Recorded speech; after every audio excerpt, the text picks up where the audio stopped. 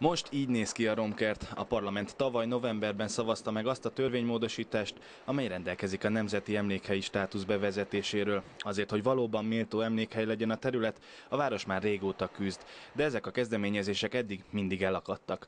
Most azonban ismét lehetőség nyílik arra, hogy megvalósuljon a nemzeti emlékhely méltó kialakítása.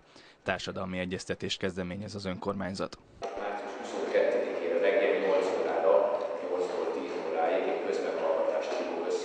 A március 22-i közmeghallgatáson bárki elmondhatja majd az ötletét, elképzelését a Nemzeti Emlékhely jövőjét illetően. Cserpakovics András szerint a legfontosabb, hogy közös megegyezésen alapuljon majd minden egyes lépés. Talán a korábbi folyamatoknak az egyik nagy hátránya mindig az volt, hogy már konkrét tervekről kezdődött el a társadalmi vita. Mi ezt most szeretnénk egy fázissal előrébb hozni, és még tervek ismerete nélkül, hiszen ilyenek nem készültek, adja meg a lehetőséget mindenkinek, hogy álláspontot, véleményt fogalmazzon meg. A belváros arculatához szervesen hozzátartozik a Nemzeti Emlékhely, de része ennek az arculatnak a most zajló főutca felújítás is.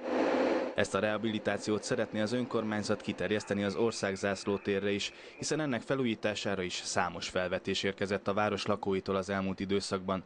A terület ugyan nem része a város rehabilitációra elnyert pályázatnak, de a 2013-as emlékévhez közeledve ennek az átépítésnek is most lett itt az ideje.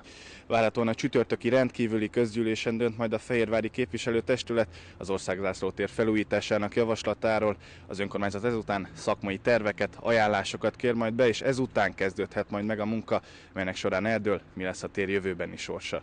A Félvár Televízió híradóját Szabó Miklós Bence tudósította.